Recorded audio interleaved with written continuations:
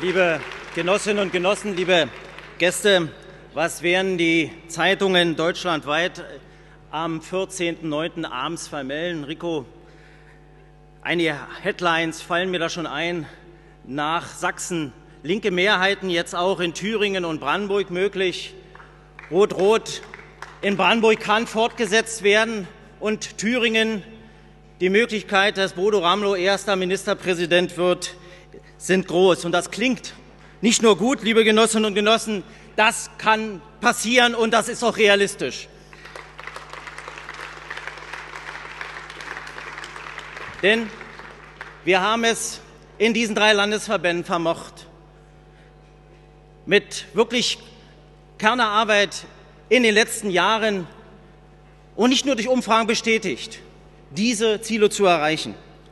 Und äh, obwohl bei uns natürlich wir auf eine professionell aufgestellte Opposition stoßen, die auch medial nach wie vor Rückenwind hat, sind wir in der Lage, unsere Prognosen, die man uns momentan zuschiebt, zu bestätigen. Die 25 plus X, die wir als Ziel haben, die sind möglich.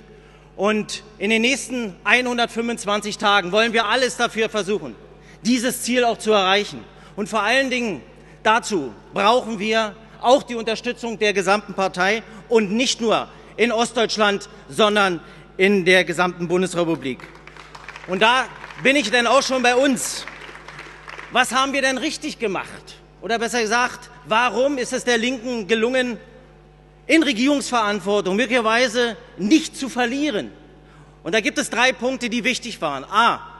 Wir haben versucht, nicht nur die Partei in Brandenburg mitzunehmen, zu informieren mit Regionalkonferenzen, Informations- und Diskussionsforen, sondern wir haben auch, und das war nicht ohne, den ständigen Austausch mit dem Parteivorstand, mit der Bundestagsfraktion, mit den Berliner Genossinnen und Genossen, mit denen in Mecklenburg-Vorpommern, die auch in Regierungsverantwortung waren, gesucht und über alles gesprochen. Und wir haben vor allen Dingen, und das sage ich auch ganz deutlich zu denen, die heute auch demonstriert haben, da draußen, und wir werden uns danach, und Ralf ist da, ich werde nachher auch mit den Protestierenden draußen das Gespräch weiter fortsetzen. Wir haben vor allen Dingen auch den Dialog bei allen widersprüchlichen Entwicklungen gesucht, auch in Brandenburg. Und das sind Punkte, die wichtig sind. So haben wir einiges vorzuweisen.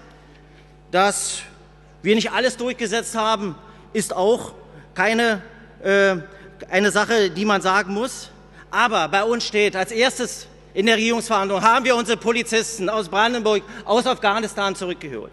Wir haben die Residenzpflicht in Brandenburg aufgehoben. Und Udo, danke nochmal. Als ihr regiert habt, konnten wir sie auch auf Berlin ausweiten.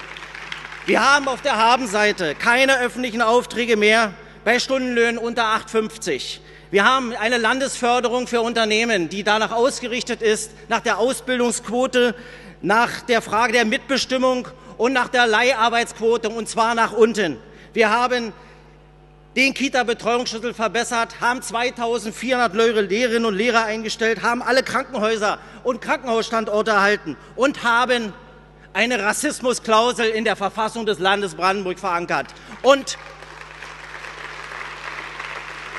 und wir haben das Wahlrecht auf 16 für Landtags-, Kommunal- und für Volksabstimmungen eingeführt. Und wir haben das alles finanziert und deshalb bin ich auch Helmut Markov dankbar, der jetzt für uns Wahlkampf macht in Oder-Spree und nachher zu uns kommt. Er hat es mit uns geschafft, dass wir seit 2011 keine Schulden mehr aufnehmen und es jetzt geschafft haben, auch vor dem Hintergrund der Enkelgerechtigkeit, sogar diese von uns nicht zu verantwortenden Schulden mit abzutragen. Und doch, liebe Genossinnen und Genossen, werden wir nicht für das gewählt, was jetzt Vergangenheit ist. Das sind die Erfolge von gestern. Wir werden gewählt für das, was wir vorhaben. Und dazu bekennen wir uns. Wir wollen noch mal nachlegen bei, den, bei der Einstellung von Lehrerinnen und Lehrern. 4.300 neue Lehrerinnen und Lehrer sollen bis 2019 in Brandenburg Einzug halten. Und wir wollen den Einstieg, wir wollen endlich den Einstieg in die Gemeinschaftsschule, in die Schule für alle, die nicht nur demokratisch, die auch inklusiv ist. Und wir wollen nach der Blutgrätsche der Bundes, des Bundes einen Neuanlauf zum ÖBS. Und jetzt, liebe Genossinnen und Genossen, wir können es schaffen, wir. Und dann, wenn die Bildzeitung am 15.09. titelt, der Osten wählt rot, dann haben wir, glaube ich, alles richtig gemacht. Vielen Dank.